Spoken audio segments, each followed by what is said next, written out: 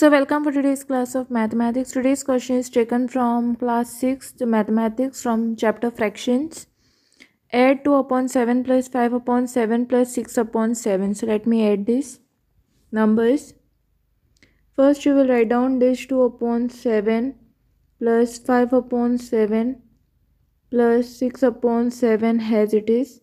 Then write down is equal to as you can see the denominator is the same what you will be doing is write down 2 plus 5 plus 6 okay?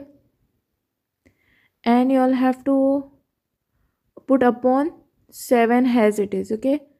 So now I can write down 2 plus 5 is how much? 7 so 7 plus 6 you will get 13 right? So I'll have to write down the answer has 13 upon 7 so i hope you'll have understood how to add these numbers three fractions okay? And thanks for watching. Don't forget to like subscribe my channel and share with your friends. Press the bell icon for more updates